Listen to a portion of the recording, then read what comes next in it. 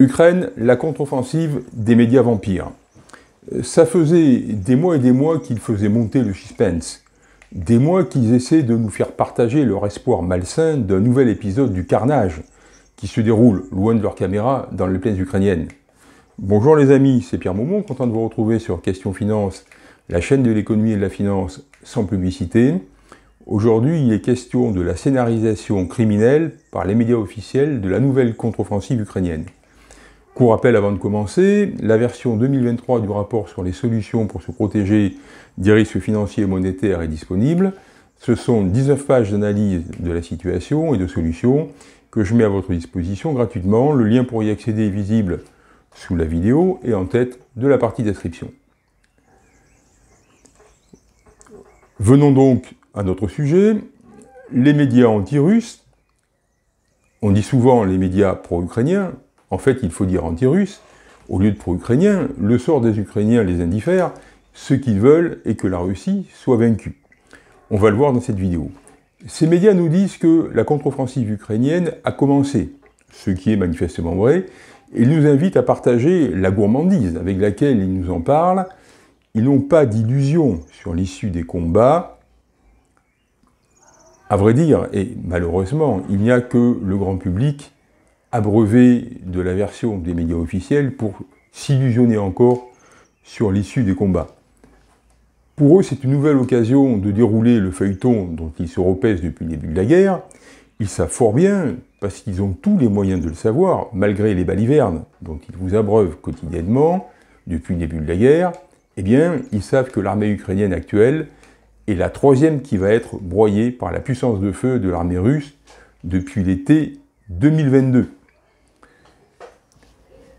Il y a eu euh, l'armée qui a été broyée pendant l'été 2022. Ensuite, il y a eu l'armée qui a été broyée au tournant de l'année 2022-2023, donc cet hiver, et celle-ci est la troisième armée que les Ukrainiens, que le régime ukrainien remet sur pied après la destruction massive, non seulement des matériels, ça les matériels on s'en fout, mais surtout massive de quantité de soldats ukrainiens. Sur le terrain, cela veut dire que les soldats ukrainiens vont être une nouvelle fois massacrés en masse. Le sujet est documenté sérieusement par les observateurs en capacité d'accéder à des informations proches des hauts commandements militaires et de les confronter entre elles. Parmi eux, le colonel Jacques Beau, ancien haut responsable de l'OTAN et colonel des renseignements de l'armée suisse, en est à son troisième livre depuis le début de la guerre d'Ukraine. Autant dire qu'il connaît le sujet. Ses sources, il les cite, il n'en fait pas mystère, le commandement de l'armée ukrainienne elle-même, des hautes sphères de l'OTAN, où il a bien sûr gardé des contacts, et depuis peu, les documents du Pentagone qui ont fuité au mois d'avril de cette année, notamment au sujet de la guerre en Ukraine. Il y a aussi des médias de référence des États-Unis, ça peut nous surprendre, nous qui sommes habitués aux médias mainstream les plus dociles par rapport à la doxa, ces journaux sont très anti-russes, comme chez nous. Pour autant, et là ce n'est pas comme chez nous, ils ne sont pas tous devenus des porte-paroles de la propagande ukrainienne, contrairement à nos médias.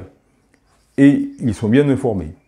Alors pourquoi ces médias mainstream, chez nous, les LCI, France 24, BFM, pour les plus connus, je ne vais pas tous les citer, il y en a beaucoup d'autres, nous entretiennent-ils dans la fiction d'une possible victoire ukrainienne, il y a au moins deux raisons évidentes. La première est qu'il est plus facile d'aller dans le sens du courant dominant que d'essayer d'ouvrir les yeux de la population.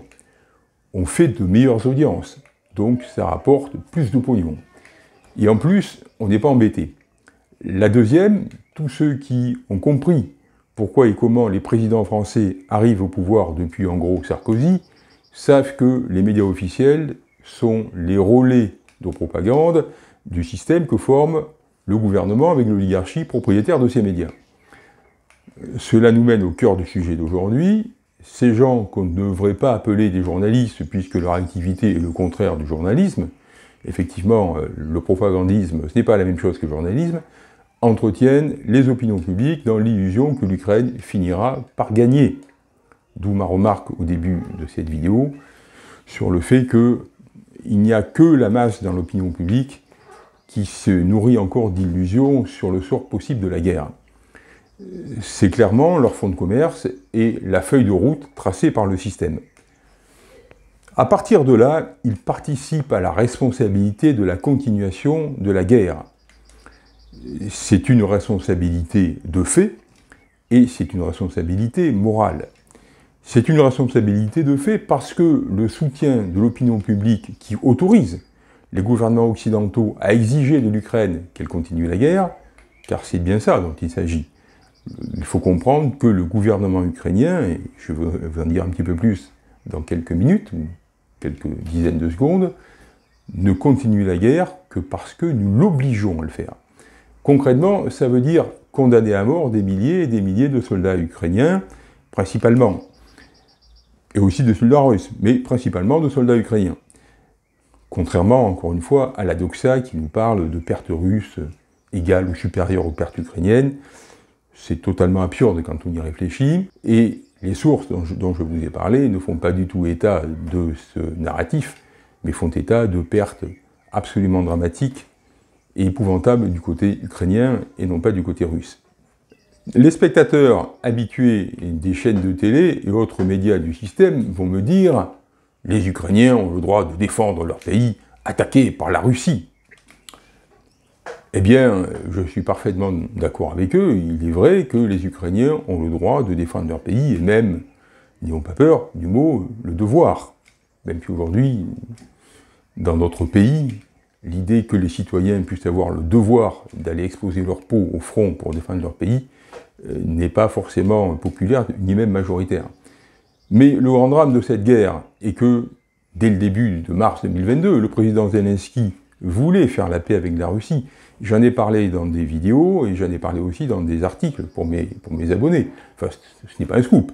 Euh, il suffisait à l'époque, ce qui était mon cas et le cas de tous ceux qui s'intéressaient évidemment euh, à comprendre ce conflit, de suivre les événements et en particulier de suivre les sources d'informations dont on pouvait penser, et la suite a confirmé que c'était justifié, qu'elle ne racontait pas trop de bêtises il se déclarait prêt à concéder à la Russie les revendications au nom desquelles elle venait de déclencher son opération spéciale. Pour être clair, euh, Poutine avait demandé, dans l'année qui a précédé le déclenchement de la guerre, que le gouvernement de Kiev reconnaisse l'autonomie du Donbass, qui était reconnue formellement sur le papier, mais qui n'était pas appliquée. Donc on dit que l'armée ukrainienne cesse d'agresser le Donbass, également que le gouvernement de Kiev reconnaisse l'annexion de la Crimée par la Russie, et également que l'Ukraine s'engage à ne jamais adhérer à l'OTAN,